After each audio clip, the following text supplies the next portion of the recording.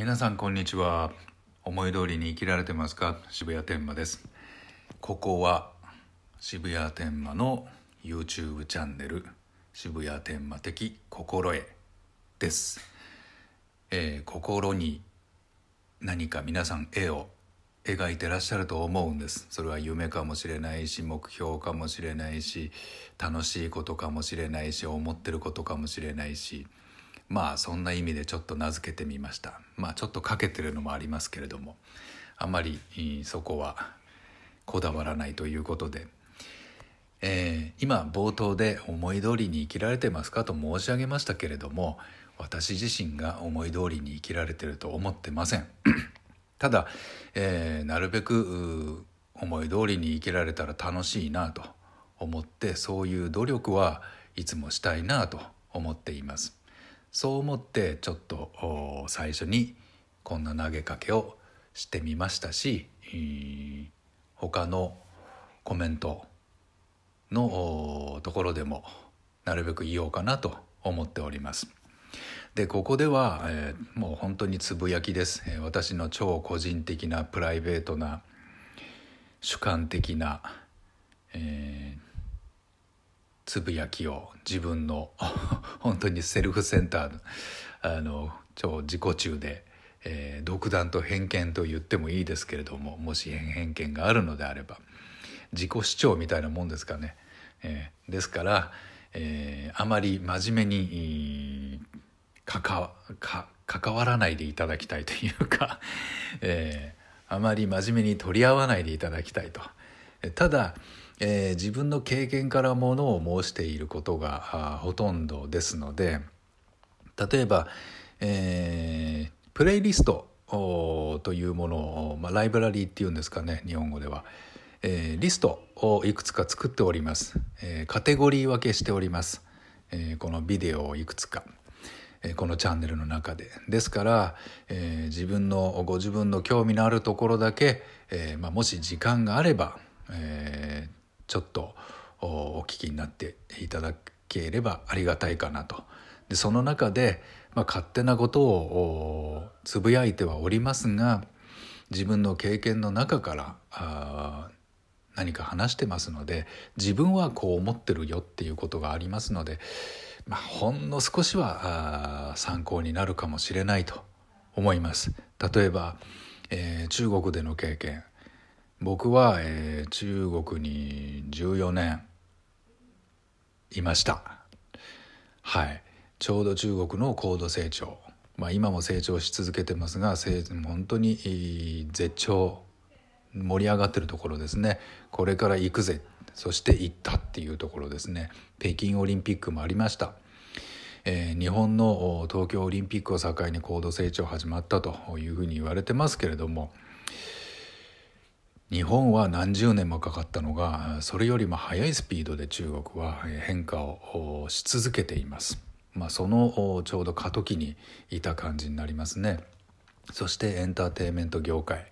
えー、日本でも僕は役者をやってましたしまあなかなかいいチャンスには恵まれないというか、まあ、実力が足りなかったんでしょうけれどもうんまあでもしぶとくコツコツとできることをやってたんですね。まあそういう経験それから中国に行っての経験で身分がいくつかありまして、まあ、普通に日本人男性とかいろんなアイデンティティ皆さん持ってらっしゃると思いますが、まあ、僕の場合はそれ以外に、えー、日本国籍ですけどえ外国人になっちゃいますね。外国に行ったら、えー、外国人として日本、えー、中国で活動しました、えー、他の外国も行って仕事もしたことがあります。アメリカとかロシアとか台湾とかあとどこでしょうか。あるのかもしれないしないのかもしれませんが。まあそんなところです、えー、特に中国は長いし、えー、仕事の数も多いし知り合ってる人もたくさんいますしそれだけじゃなくってえー、日中文化交流推進会という文化交流の活動をテーマにして、えー、活動を行っている、えー、NPO 法人というものを、えー、2009年から立ち上げて、えー、今でも主催しております。2007年から実質活動しておりました。全てボランティア活動でやってます。まあ、そういうこととかですね。ですね。あとは2012年から中国で、えー、会社メディア系の制作会社を経営始めました。約6年7年弱。で、えー、まあ CEO という人がちょっとあのー法人の代表ですね、えー、が私ではなくて、えー、中国の方だったもんですからその関係で会社は閉めましたけれども、まあ、以降は、えー、ただまあその時の業務っていうのがもう完全に役者とは一線を画したものでエンタメ業界、うん、映像業界メディア業界のことがほとんどですが、まあ、広告制作それから中国と日本との間のやり取り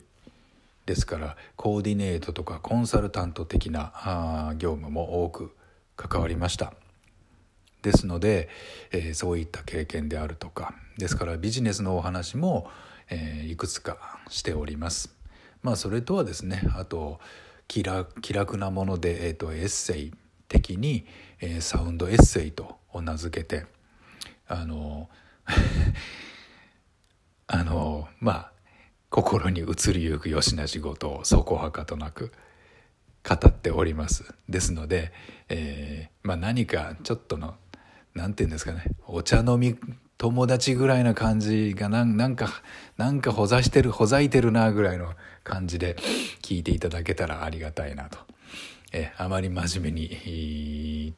とられとらわれないでほしいとと受け止めないでいただきたいと思っておりますけれども。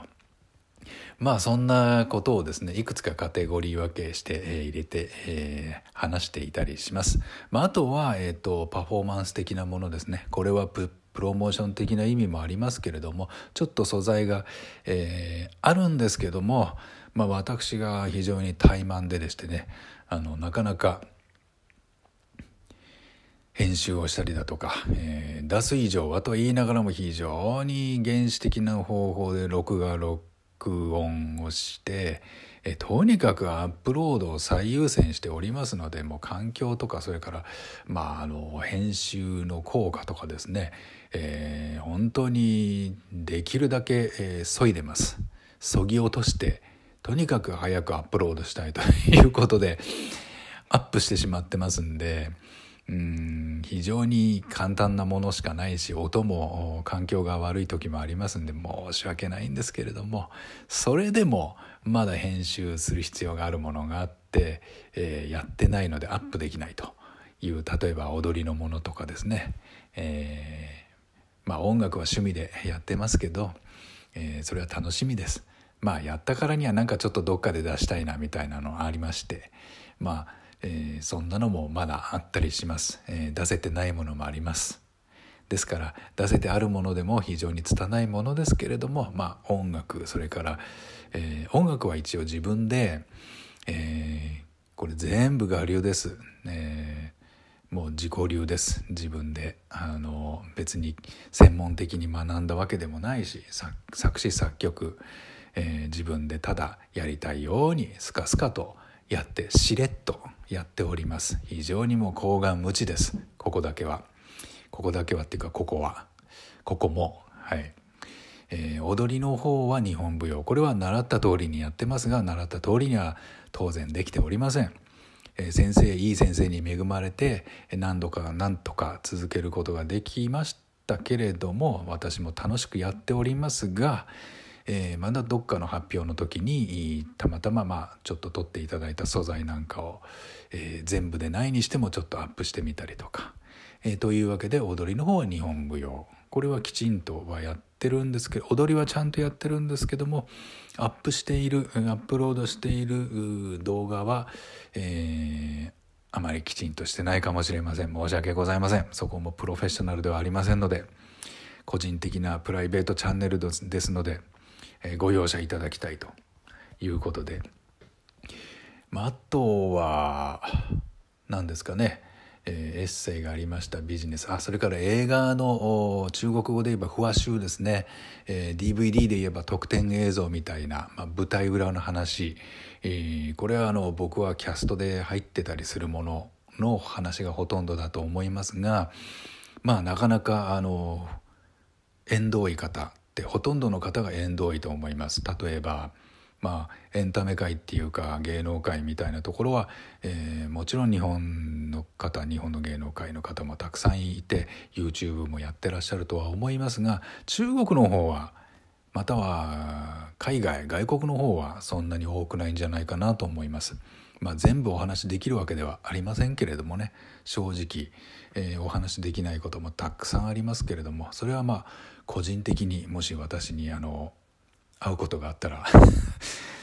聞いてみてください。何か興味があることであれば、えー、でも、えー、なるべくそんな話をですねあの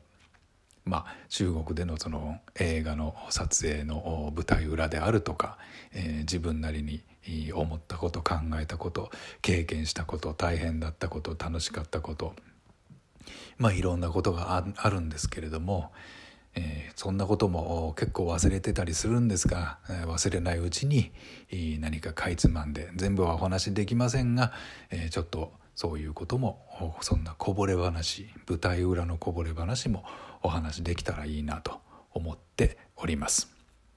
えではお気軽に少しでも楽しんでいただけて、えー、ほんのちょっとでも何かの参考になれば、えー、非常に嬉しく思います。よろしくお願いします。それでは皆さんの夢も全部叶いますように。